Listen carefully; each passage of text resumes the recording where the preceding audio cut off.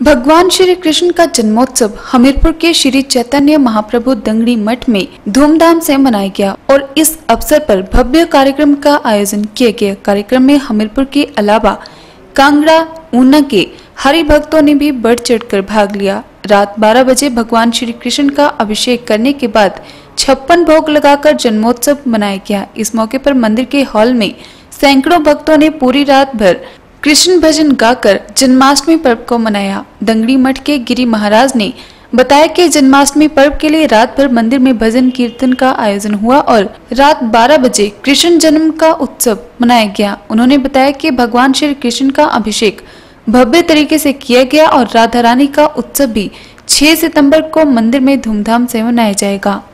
कृष्णा, श्री चैतन्य महाप्रभु गौड़िया मठ के श्री राधा गोपीनाथ जी का, श्री जन्माष्टमी का महाउत्सव कल मनाया गया।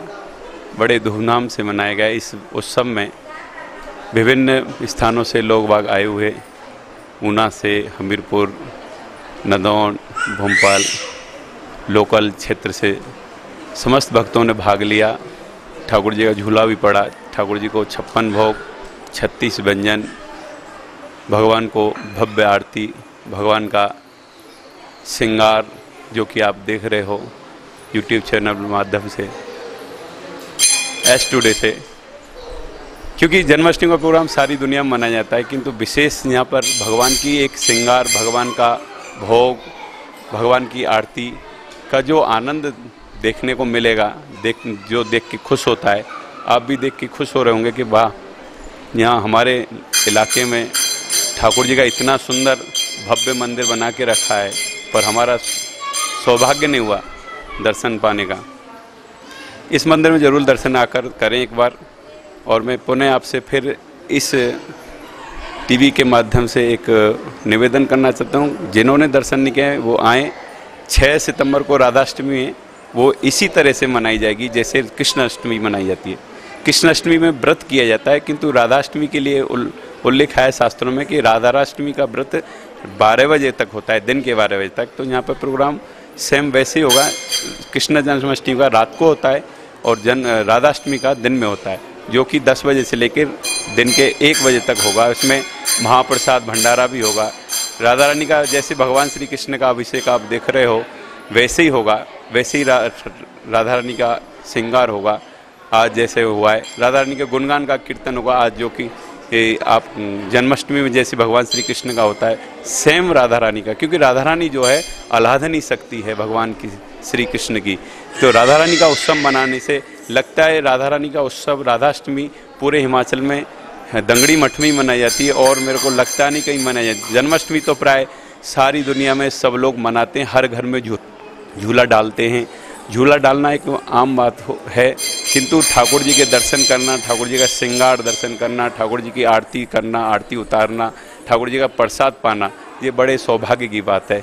तो आप लोग टीवी के माध्यम से आप देख रहे हो, आपका ये भी सौभाग्य है, क्योंकि ये टीवी वालों ने बड़ी कृपा करके हमारे पास आए और इन्हें नोट किया कि क्या क्या फ़ंक्शन हुआ तो आप देख रहे हो।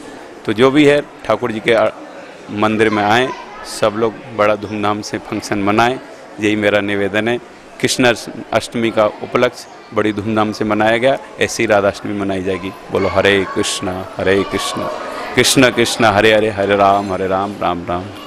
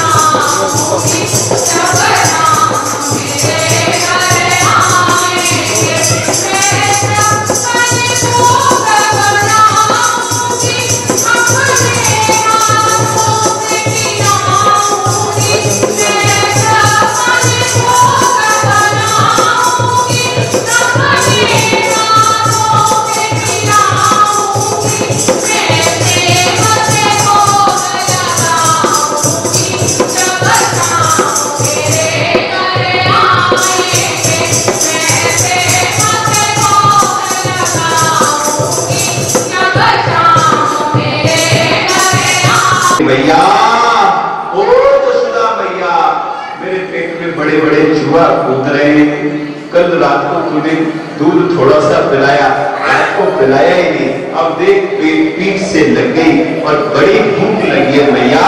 अब तो दूध पिला दे, क्योंकि दूध बहते जा रहा था। चिंता उस दूध की थी कि ये दूध मेरे लिए और ये बहेगा बहेगा क्यों? माखन तो बाद में भी खा लूँगा। पर मैया को टेंशन थी कि नहीं, मैं आज माखन खिलाऊँगी।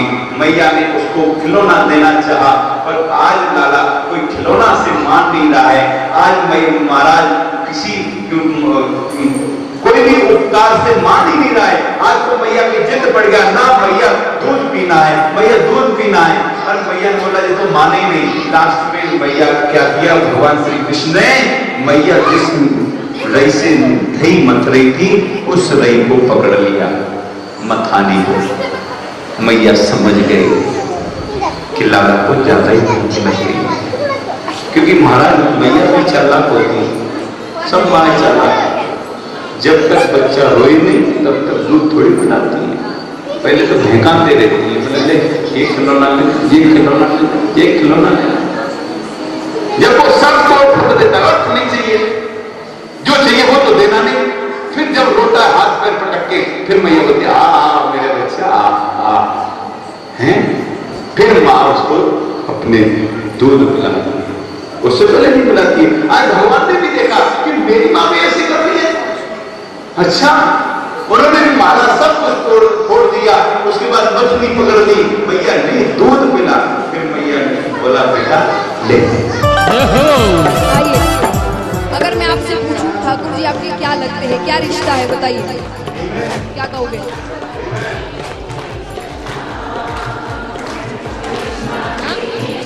प्यार है। सब कुछ है और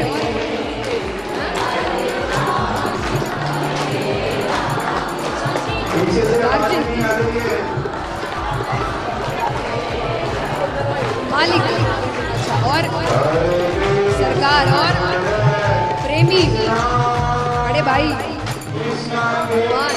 चलिए अब सबको मिलाते हैं। काली कमली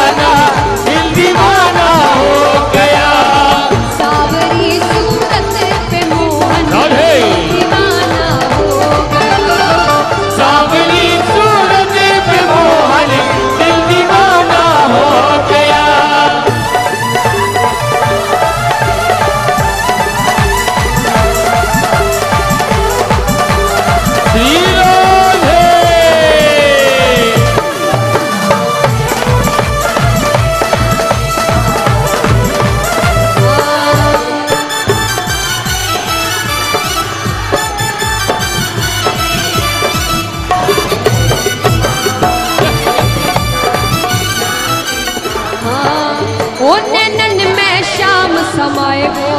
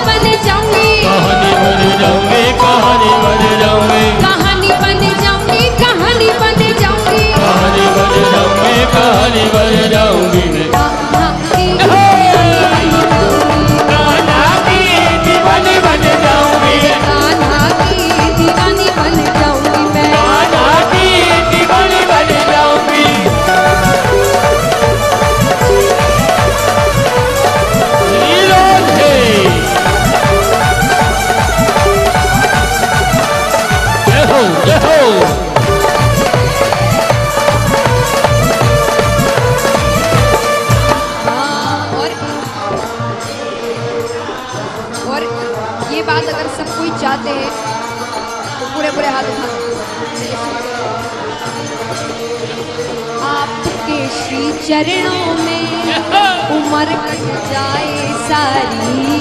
आपके श्री चरणों में उम्र कट जाए सारी। आपके श्री चरणों में उम्र कट जाए सारी। चरणों में उम्र कट जाए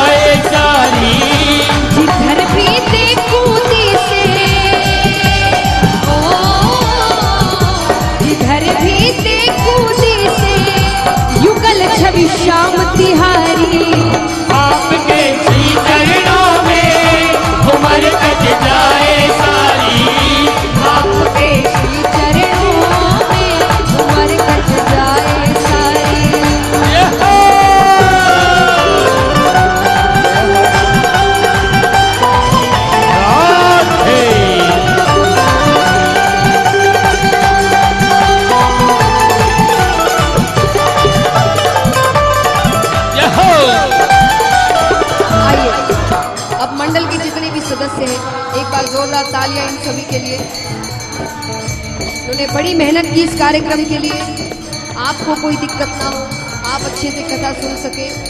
और जब कथा सफल हुई है सफल हुई है कि नहीं? आपको आनंद आया कि नहीं? भाई जब सबको आनंद आया सफल हुई कथा तो इन सबके मन में अब क्या विचार आ रहा है?